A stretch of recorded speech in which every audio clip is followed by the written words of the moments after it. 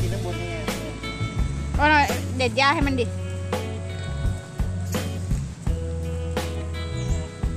เฮ้ยโดนมือไหนไหนมือหลุดเข้าไปในปากมันดูน้ำลายเต็มเลย นี่ลิ้นที่เรากินเนี่ยเออนี่เป็นเราหมูลิ้นวัวกินนี่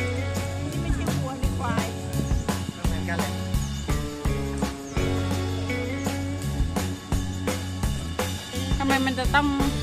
ผูห่อห่อด้วยมันหายใจไงร้อน